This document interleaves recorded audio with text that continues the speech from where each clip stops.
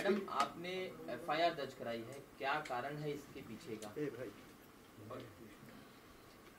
इसी कारण तो ऑब्वियसली जिस लॉ में इट्स कॉल्ड सेक्शुअल हरेसमेंट ये सिर्फ़ एक रीज़न नहीं था uh, उस वक्त जो आज मुझे लोग पूछ रहे हैं कि अभी क्यों?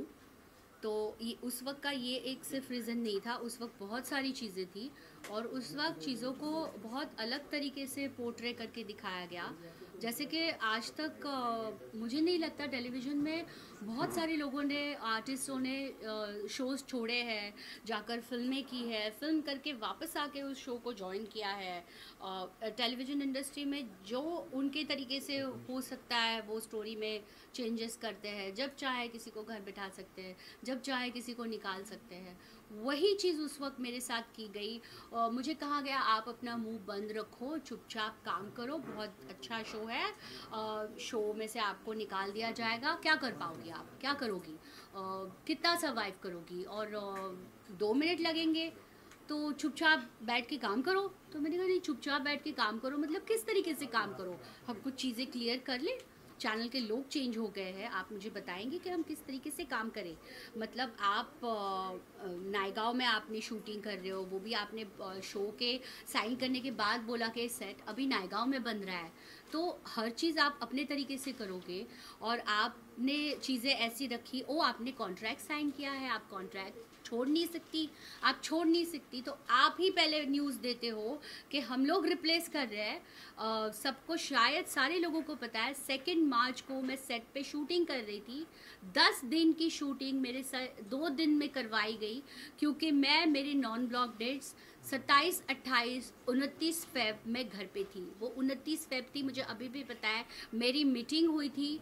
मुझे उस मीटिंग में बहुत बुरे तरीके से इन लोगों ने डांटा था। और उसके बाद एक और दो तारीख को फिर भी मैं शूटिंग कर रही थी। दो तारीख को पूरे मीडिया में था कि मुझे रिप्लेस कर रहे हैं क्योंकि मैं टेंट्रम्स थ्रो कर रही हूँ। और उसके बाद मेरे ब्लॉक डेट्स में इन्होंने मुझे छुट्टी दी। ब्लॉक डेट्स में मुझे कहा, हम आपके साथ शूटिंग नहीं कर रहे हैं। मैंने कहा, क्यों? और तभी मैं समझ गई थी, ठीक है, मुझे रिप्लेस कर रहे हैं, ठीक है, करो। मेरी तबीयत बहुत ख़राब थी। मैंने उस वक्त मुझे पता है कि मैंने किस तरीके से टाइम फेस किया है क्योंकि एक शो के लिए मैंने हंड्रेड परसेंट दिया था। वो रोल मैं नहीं करना चाहती थी सबको पता है भोजपुरी कैरेक्टर था मैं मैं, मैं महाराष्ट्रियन लड़की हूँ मैं उस लैंग्वेज में बात नहीं कर सकती। कॉमेडी है मैं आज पंद्रह साल से इस इंडस्ट्री में काम कर रही हूँ मैंने अपनी एक इमेज बनाई है वो मैं नहीं तोड़ना चाहती थी कि ये क्या कर लिया शिल्पा ने। मेरे लिए वो बहुत इम्पोर्टेंट था। लेकिन रात को तीन बजे तक मुझे फ़ोन करके मेरे से हाँ बुलवाया कि मैं शो करूँ। आपको जो चाहिए वो ले लो। यू you नो know, उस वक्त उनमें जब रश्मि देसाई ने शो छोड़ दिया तब उनको मुझमें सारी वर्सिटैलिटी दिखाई दी ओ you are very versatile actress only you can do this show मैंने कहा श्वेता तिवारी को ले लो। नहीं she is doing one show with us तो नहीं होता तो आप उसको ले लेते। मगर इस तरीके से उन्होंने लास्ट मोमेंट पे चेंजेस करके मैंने उस रोल को प्रूव किया। उस वक्त हमारे शो का प्रमोशन नहीं किया गया था। आपके क्या राइट्स है? आप कौन होती है बोलने वाले कि शो के प्रमोशन नहीं किया? मैंने कहा वाह इट्स वेरी इजी मतलब आर्टिस्ट सिर्फ़ पपेट्स है। आर्टिस्ट सिर्फ़ आके काम करेगा। आप उसके मुँह पे पैसे फेंकोगे, वो काम करेगा। दैट्स सुपर उसके बाद चैनल के लोग चेंज हो गए। और आपकी हर चीज़ सिर्फ़ वन साइडेड है, सिर्फ़ वन साइडेड है। आपको छुट्टी देना, नहीं देना, नहीं नहीं, हम कल शूटिंग करेंगे। अरे, मेरी डॉक्टर अपॉइंटमेंट है। नहीं नहीं, हम तो शूटिंग करेंगे। हम नायगांव शूटिंग करते, वहाँ पे हमें कोई सिक्योरिटी नहीं, कुछ नहीं।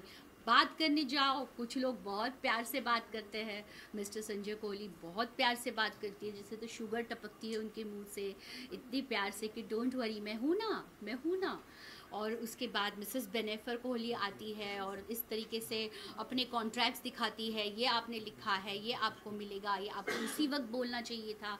इस तरह की लैंग्वेज में बात करती है, मुझे समझ में नहीं आता था यहाँ पे किस तरह से बात करनी चाहिए। आज मेरे ख्याल से उसके बाद मैंने बहुत सारे इंटरव्यूज़ देखे जिसमें सोम्या टंडन ने कहा कि मैं अपनी कपड़े खुद डिज़ाइन करती हूँ उनका नाम भी आता है शो में और मेरे लिए कहा गया कि मैं खुद डिज़ाइन डिज़ाइनर मांग रही हूँ, मैं मेकअप आर्टिस्ट मांग रही हूँ, मैं हेयर ड्रेसर मांग रही हूँ मैं बहुत सारे पैसे मांग रही हूँ, इसीलिए मुझे शो से निकाल दिया जा रहा है। मैं सेट पे टाइम पे नहीं आती। किसी की इज़्ज़त उतारना, इज़्ज़त उछालना बहुत आसान है। एक लाइन में आप सारी चीज़ें बोल देते हो, लेकिन आज पंद्रह साल से मैं इस इंडस्ट्री में हूँ। उस इंसिडेंट्स के बाद मुझे कितने जवाब देने पड़े। मेरे मेडिकल्स बिल है मेरे पास। मैंने इतना सफ़र किया है उस, उसके बाद। मेंटली इतना टॉर्चर हुई हूँ। मैंने उस वक्त भी कहा था, मैं शो करते वक्त मेंटली टॉर्चर हो रही थी। सब कुछ उनके हाथ में होता है। और अल्टीमेटली जब मुझे आपने घर पे बिठाया मतलब मुझे डराने के लिए कहा, और बाद में आकर आप बोलते हो, आप शो करो, आपको मैं शो छोड़ के चली गई। आप मुझे बताओ चार दिन के बाद आपको शो पे इस तरीके के बुलाया जाता है कि आप वहाँ जाकर काम करोगे? और इसको साइको बोलोगे या सेल्फ़ रिस्पेक्ट बोलोगे? ये मैं ख़ास लोगों को उस वक्त भी बताना चाहती थी कि ये मेरा सेल्फ़ रिस्पेक्ट है, कि मैं नहीं करना चाहती थी उन लोगों के साथ काम। मैंने तभी भी शायद मीडिया को पता होगा, मैंने कहा था कि प्रोड्यूसर चेंज करेंगे तो वो मेरा शो है, मैंने उस शो के लिए मेहनत की है। मैं ये पूछना चाहूँगी, ऐसा किसने होता है कि आपके को आर्टिस्ट आप एक साल भर काम करते हो और आपके साथ बात तक नहीं करते? आप आप, आपका फ़ोन तक नहीं उठाते? आप दिवाली, ईद के लिए उनको मिठाई भेजते हो, आपको रिप्लाई तक नहीं करते? ऐसा मैंने क्या कर लिया था? क्या मैंने सेक्शुअल अटैक किया था किसी के ऊपर? किसी को मैंने अब्यूज़ किया था? और मेरी को आर्टिस्ट सोम्या टंडन को मैंने ये इंसिडेंट्स बताया था। मुझे प्रोड्यूसर के दो दिन के बाद फ़ोन आके वो मुझे फायर करती है कि इस तरह की हरकतें आप कैसे कर रहे हो, आप इस तरह का कैसे बात कर रहे हो? मतलब और उसके बाद आप स्टेटमेंट देते हो, या ब्लाउज का फिटिंग ठीक होने से सेट पे नहीं आना ये कोई रीज़न नहीं हो सकता। Yes this is the this is the reason you know she knows that reason what was the reason कि ये सिर्फ़ रीज़न नहीं था।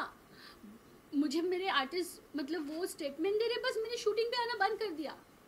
आज मेरी इतनी तबीयत ख़राब थी, फिर भी मैंने शूट किया है। लोगों को पता होगा मेरा आवाज़ चला गया था। मुझे वो वोकल कॉर्ड पे इन्फेक्शन था, मेरी आवाज़ नहीं निकल रही थी। लोगों ने खुद देखा हुआ है, मौन व्रत का एपिसोड इन्होंने बनाया था। मैं एंटीबायोटिक ले रही थी, नींद आती थी, लेकिन फिर भी मैंने शूटिंग की है। इनके सीन नहीं लिखे गए। हम सेट पे जाके बैठ जाए। क्या? यही आज साढ़े बारह करोड़ आप मुझ पे क्लेम कर रहे हो? ऑब्वियसली मैं उसके लिए तो फाइट करूँगी क्योंकि साढ़े बारह करोड़। मतलब आप, मैं काम कर रही थी तो मेरी इतनी सी भी वैल्यू नहीं थी। और मैं शो छोड़ने के बाद आपका साढ़े बारह करोड़ का लॉस हुआ है। वाओ ये तो बहुत बड़ी बात है। इसके लिए डेफिनेटली मैं तो हर रास्ते हैं इसके लिए। और आज मैं इस चीज़ के लिए बताना चाहूँगी कि इस तरह की चीज़ें होकर उस तरह उसको दिखाया गया कि एक अजीब अलग रूप देकर उसको पोर्ट्रे किया गया और कि मैं कुछ बोल ही ना पाऊँ। लेकिन आज मैं ये बताना चाहती हूँ, मैंने पूरे एक साल जितना मैंने सब लोगों को ऐसा लग रहा है कि एक साल हो गया, लेकिन एक साल में सात आठ महीने, दो महीने तो मैंने आपके मीडिया को दिए हैं, इसको जवाब देते देते। उसके बाद सात आठ महीने तो मैं अपनी बीमारी में गई हूँ। जिस तरीके से इन लोगों ने मुझे टॉर्चर किया। ये लोग आर्टिस्टों के, लोगों के फ़ोन रिकॉर्ड करते हैं। इन, इन्होंने फ़ोन रिकॉर्ड किए हुए थे। मेरी हर चीज़ पे खबर रख रहे थे। मैं कहाँ जा रही हूँ, क्या जा रही हूँ, किसका काम कर रही हूँ, बस मुझे काम नहीं करने देना था। पता नहीं मुझे कितने आर्टिस्टों ने बताया, आज आज जाके बताया कि ये लोग स्पॉट बॉय से खुद आर्टिस्टों की चोरी करवाते हैं मिसेस बेनेफर कोहली ये मैं ख़ास बताना चाहूँगी। आर्टिस्ट कुछ लोग बोल नहीं पाते सामने आकर, लेकिन मुझे ये बात समझ में नहीं आती, क्यों नहीं बोलते? आर्टिस्ट, आर्टिस्टों की चोरी करवाई। है किसी ने तो मुझे कहा था और ध्यान से, ये तो तो पता नहीं मेकअप रूम में कैमरा भी रखा होगा हिडन कैमरा मैं इतनी डर गई थी। मतलब आज भी मुझे ऐसा लगता है, क्या वहाँ पे कैमरा था जब मैं शूट कर रही थी तो मे भी हो भी सकता है, नहीं भी हो सकता है। बहुत सारी चीज़ें लोग बाद में बोल बोल रहे हैं, लेकिन मुझे समझ में नहीं आता, तब क्यों नहीं बोलते? और आज मैं इस चीज़ को लेकर मैंने इतनी एफआईआर करने के लिए मैं इतना इजी नहीं है किसी के बारे में इस तरह से बोलना। आज मुझे पता है, मुझे इस इंडस्ट्री में सर्वाइव करना है। इट्स नॉट इजी इस तरह का बोलना, मगर जिनको जो सच्चाई पता है, मुझे शायद बताने की ज़रूरत नहीं है कि सच्चाई क्या है।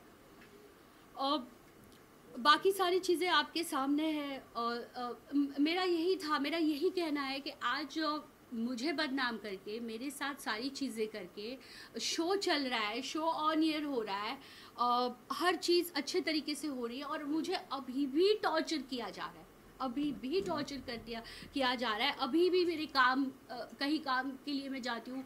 आपको बेनेफर कोहली का पेमेंट देना है ना? मैंने कहा मुझे मुझे उनका पेमेंट देना है।